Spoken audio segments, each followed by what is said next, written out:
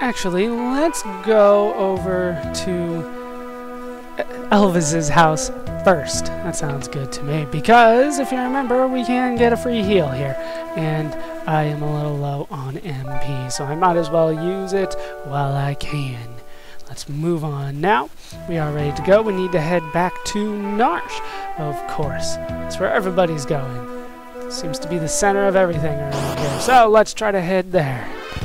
Let's continue on. Technically, this is backtracking, I guess you could say, but the game manages to keep the backtracking entertaining. How do they do that? Well, here in South Figaro Cave, they have changed the monsters. So, this is going to be uh, rather difficult uh, if you're not paying attention it can be difficult. Here are the new enemies that we are looking at. We have the Gold Bear and the Primordite. Uh, I'm going to physically attack the Primord, uh, sorry, the Gold Bear and use Ice on the Primordite, and that should finish the job here for me. Unfortunately, Ice is not powerful enough, so I can multi-target and kill everything at once, but what are you going to do? What are you going to do? Let's move on. Uh, most of the treasure chests, well, I think there was only one treasure chest here to begin with. It hasn't changed yet, I don't believe. More new enemies. We have uh, Trilobiter here.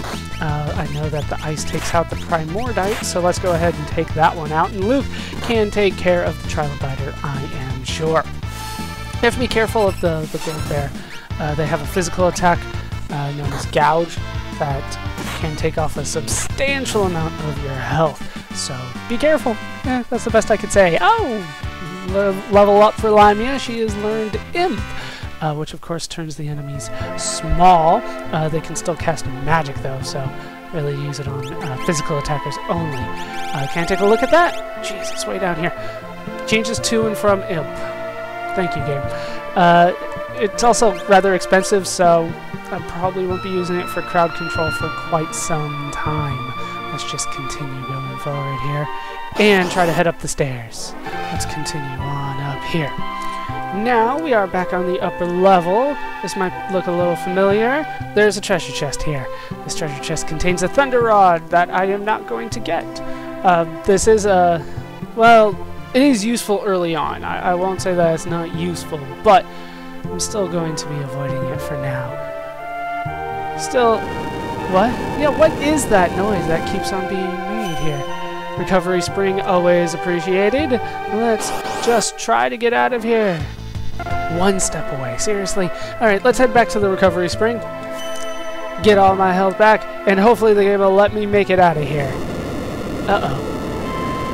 Huh? Something's coming out of the wall! And it is boss time. We're up against tunnel armor here.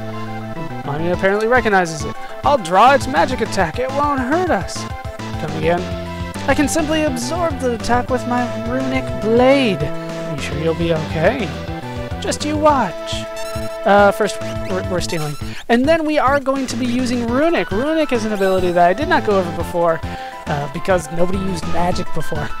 How it works is you use it, it will draw the magic of whoever the enemy is. And we get an air lancet stolen from him. Very nice and it'll completely, pretty much negate all magic that is being done. And the little green numbers that you see her coming up with are actually uh, MP.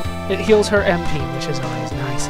Actually, though, the Air Lancet is better than the Guardian. You can change... Where is it? You can change equipment in battle, and it is, well, good that you do, especially for something like this. Now we can start doing more and more damage.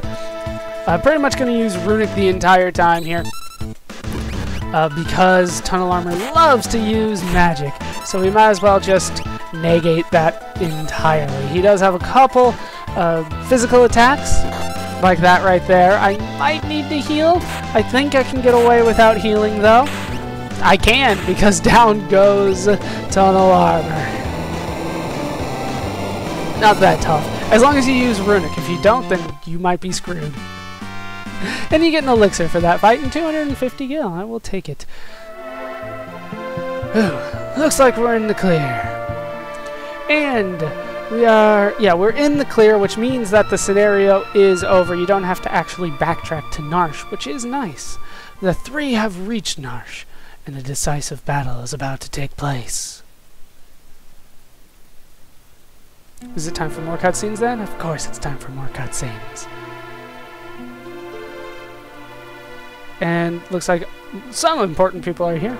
I understand all of it, except how can we be encouraging bloodshed? I never said that. Something like it. Ah, he's right, you know. Banon, our blood will spill because of you. Emperor Gestahl's racing to acquire Magitech power. He set his sights on the Esper that was found here. The increased use of Magitech power surely will lead to global destruction. The War of the Magi. The mythical battle that set mankind back a thousand years. Can this really be happening? People will never learn. Brother!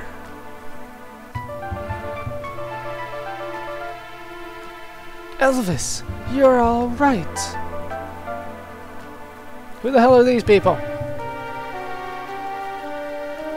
I am Khan-Ijo, retainer to the Lord of Doma. Tweet go! The people of Doma were wiped out by the Empire. Kefka poisoned everyone. Barbaric. Elda. But that was only because Doma was collaborating with the returners. If we make that mistake. That's nonsense! Luke! The Empire's poised to attack Narshe right now. What? Luke, where'd you hear that? Limia here was one of the Empire's generals. I knew she seemed familiar. Sir Tweak, out of my way! That's General Limia. She torched Maranda. She's an Imperial spy. Now, stand aside. Wait! Limia has joined the Returners. She's fighting with us now. But I promised I'd protect her. I will not back out on my word. Luke, are you still thinking about that? I was also an Imperial soldier. Who? What? Khan-Ijo is not happy right now. The Empire's evil, but not all of its citizens are.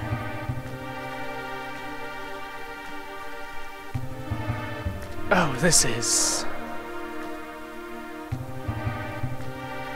Emergency! The Empire cometh! Uh-oh. This doesn't look good. This doesn't look good at all. I don't care what you do here, just get me that Esper! Lord Kefka, there are civilians here. Exterminate everyone! Narshe is neutral. Idiot! Read my lips. Dispose of any who oppose us. March! What kind of dance are you doing there, Kefka? What the hell, man? Kefka. He might be the evilest guy that we've encountered in Final Fantasy thus far. Love him. We really have no choice. Let's make ready for war. After the Esper.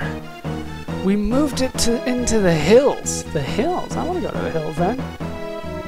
Then we're going up after it. God, look at that party. oh, seven of them. Oh, shit, sorry. Oh, sorry, I, I, I, I, I didn't know that that was going to be disappearing that fast. So I didn't read any of it. Sorry that I missed it. So you were born with the power of magic? Isn't it a lovely gift? You can use magic too? When I was a baby, I was artificially infused with magic and raised as a Magitech knight. Have you loved anyone? What's that supposed to mean? That's a weird question. Don't think for a moment I trust you. Fine. Use your own eyes, then decide.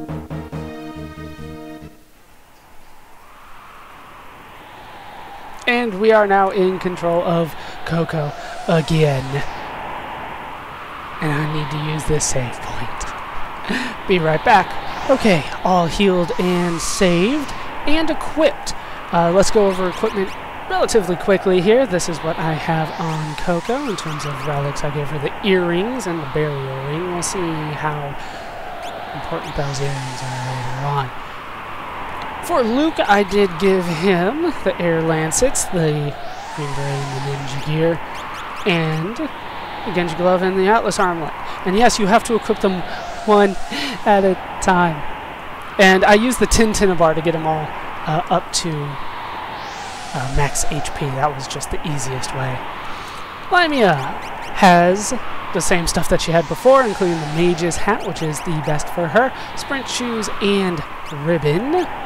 Sprint shoes not necessarily required, but I like having them on somebody, you know? Khan-Ijo! He's got Kotetsu, Heavy Shield, Green Beret, and Iron Armor, pretty much the same as what we had with him before. With the relics, he's got the Hyper Wrist and True Knight. We'll see if that True Knight ever comes necessary at all. Glenn has the Mithril Pike, Heavy Shield, Green Beret, and Leather Armor. For his relics, he's got the White Cape and the Hyper Wrist. Elvis has got the Mithril Claw Buckler, Green Beret, and Kung Fu Suit, Running Shoes, and White Cape. And finally, we have Tweak. Tweak has got the Buckler, the Green Beret, and the Kung Fu Suit. And for the relics, he does have the earrings in the Mithril Glove. Uh, this is how you have to equip everybody one at a time. When you are done, you can Dr. Banon.